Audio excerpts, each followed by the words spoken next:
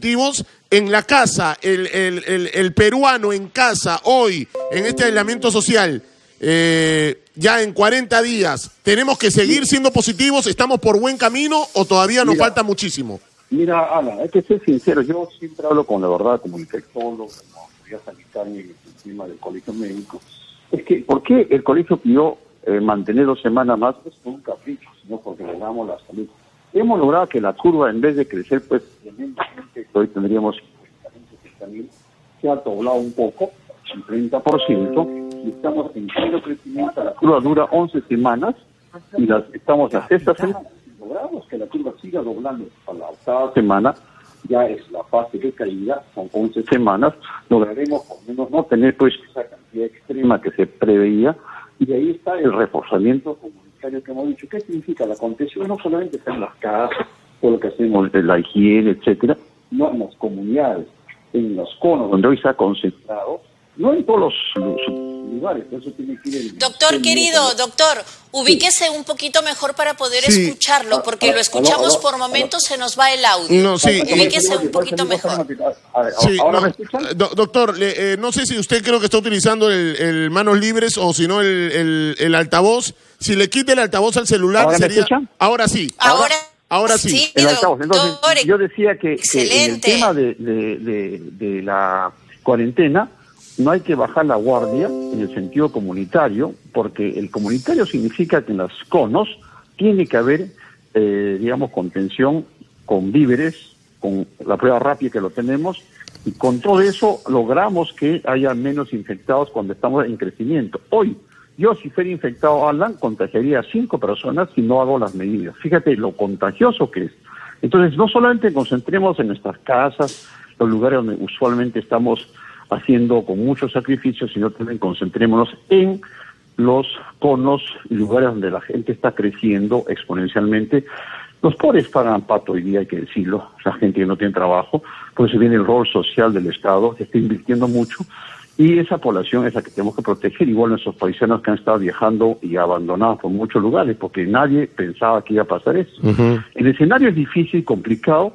Yo soy optimista en el sentido que la gente puede hacer más esfuerzos, lo estamos haciendo todos, porque cada esfuerzo de uno significa cinco contagios menos. Ese es el mensaje. Ajá. Nosotros dejamos de hacer las cosas indebidas, dejamos de contagiar a cinco personas, y no esto se multiplica y ya es un caos un pandemonio que espero que nunca pase lo de Italia. Pero es estos dos, tres semanas, inclusive ya cuando se levante gradualmente, mantenemos, los viejitos se queden en casa. Los niños y los jóvenes no van al colegio hasta junio, julio por lo menos. Doctor. Y el resto de gente que chambea va a tener que hacer en las construcciones cinco personas, en los, eh, los restaurantes cinco o seis personas, con la seguridad correspondiente. O sea, no es que no vamos a volver, sino volver paulatinamente. Ya el metropolitano no puede ser pues eh, sardinas a, a, digamos a- de, de paciente, igual que los cómics. O sea, muchas cosas van a tener que cambiar porque usualmente este brote dura meses, especialmente estamos en la, en la punta más importante de estas dos a tres semanas y esa es la recomendación que por todo lado hemos hablado, mi estimada Alan y Fiorella. Claro que sí, doctor Maguiña, porque, eh, claro, ya van 40 días de encierro.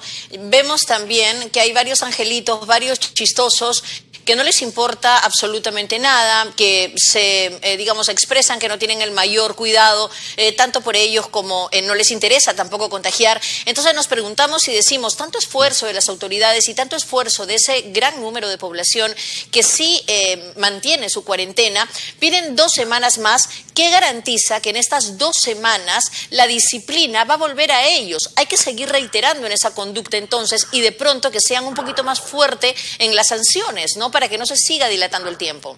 Mira, hay varios escenarios, Fiorella. El escenario este que es el prioridad, el tema de la contención comunitaria, incluso con policías. Yo creo que si en un barrio, en Piñonate, encuentran 10 infectados, esa cuadra se cierra, como se ha hecho en muchos brotes, se le da alimentos con policías y la gente que iba a chambear, no chambea, va a trabajar en su casa, pero con alimentos. Creo que esa es la estrategia que se está haciendo. Tiene que hacerse ya en muchos lugares donde ya empezó el brote y no esperar como Lambayeque y Loreto, cuando ya colapsó, ya no tiene sentido esas cuarentenas o los cordones que se hace por focos. Como en la guerra de guerrillas, recuerdan las películas, hay que ir a los focos, Claro. controlar los focos, porque cada foco puede ser un foco explosivo de miles de pacientes y de, nada vale que en muchos lugares del Lima estemos secuestrados o, o en cuarentena cuando esos focos van a volver y nos van a contagiar. Por eso es que esto no termina con esta semana, sino tiene que continuar a lo largo del año y hay costumbres que obligan, van a quedar, por ejemplo, el uso de máscaras, ya tengo que usarlo porque es muy contagioso. Eso sí creo, los viejitos a quedarse en casa todo este año. Obviamente es gente ya jubilada, pero tampoco lo descuidemos porque son los que se mueren más. En conclusión, obviamente hay medidas que tenemos que reforzar esta semana, por eso es clave eh, que la población colabore de manera, yo le pido a los, los conos especialmente que recuerden el cólera. En Cayetano tuvimos casos de cólera severos en los puertos, ¿y qué aprendimos? Higiene, higiene y desapareció la tifoidea y el cólera. No tenemos Pero doctor Maguiña, eh, hoy me he quedado, hoy me he quedado sorprendida y estoy segura que usted también eh, lo debe de haber visto en los noticieros. Eh, es tan nuevo el virus, es tan nueva la enfermedad que hasta incluso los mismos médicos se sorprenden. Vio estas dos personas que salieron del coma y que presentaron cambio de color de piel, sus rasgos estaban completamente distintos. Las personas incluso cuando se miraron al espejo no se reconocieron cuando salieron del coma. ¿Vieron el, ¿Vio el caso de estos dos médicos? Sí, sí, sí, casual. Es que mira, estamos aprendiendo todo. Es alucinante, o sea, mire las secuelas totalmente novedosas, ¿no? Mira, este virus se mete por todos los cuerpos, se mete no solamente en el pulmón, que es el le gusta más, sino en el corazón, en el hígado y muchos lugares. Por eso es que incluso las autopsias de los italianos veían cosas que no veían los chinos, porque los chinos mataban a, mataban a todos al lo quemaban, mejor dicho, ¿no? Y ahora sabemos que hay un fenómeno también de coagulación alterada y ahora están cambiando la terapia y están haciendo en el Perú y con bastante mejoría de muchos pacientes. Fíjate cómo las nos está haciendo los cambios de día a día y lo que he visto en la piel es otra manifestación, se llama uh, extrapulmonar, igual que causan conjuntivitis y causan muchas enfermedades. Estamos aprendiendo, es una enfermedad, digamos, que día a día nos ha palmazos o cachetadas de que realmente lo que decíamos acá ya cambió. Miren, antes se decía que el contagio era de una a dos personas, ahora a cinco personas. Antes decía no usen máscaras, ahora usamos máscaras. Y eso es importante para no bajar la guardia en la parte clínica. Y un consejo, aprovechando este importante espacio, la gente está psicoseada por las pruebas. Las pruebas, miren, estimada Alan y Fiorella, sirven como cualquier enfermedad como complemento. La rápida es para trabajos de campo que ahora tiene que hacerse en todos los conos y en las regiones para detectar cuántos policías, cuántos personal tiene la enfermedad para aislarlos. Y la prueba molecular, que es el pedazo de virus, sirve en la garganta 70%. Y pueden tener pacientes con todas las características y no tener la prueba porque es 70%. Y eso es importante, por eso en los hospitales, clínicas y consultorios, la gente que tiene fiebre, tos, ha sido contagiada por un familiar, es COVID, aunque sea la prueba negativa, no, no se asuste, buscan laboratorios, quieren confirmar como pasó el pobre congresista.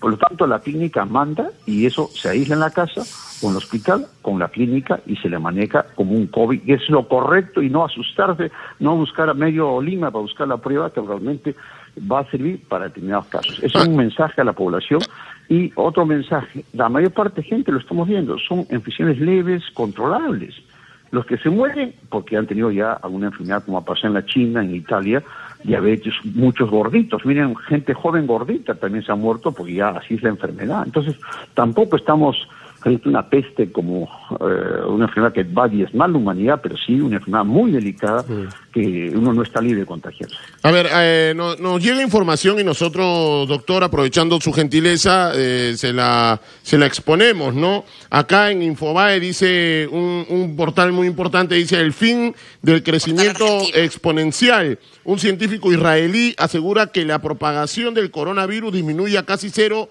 después de 70 días.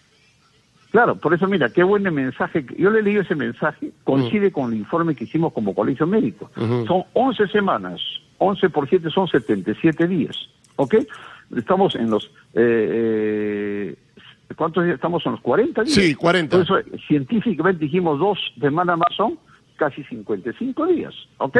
Fíjate la importancia de cómo se consigue, porque no es un invento de los se sabía ya por modelos, y eh, eh, encima que en el Perú, una cosa importante, los casos están cada cinco días duplicando, que eso todavía es peligroso.